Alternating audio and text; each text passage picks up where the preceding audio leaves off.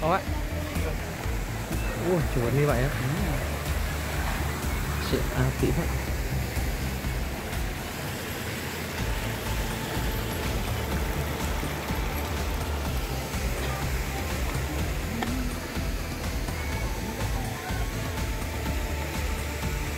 Hãy subscribe cho kênh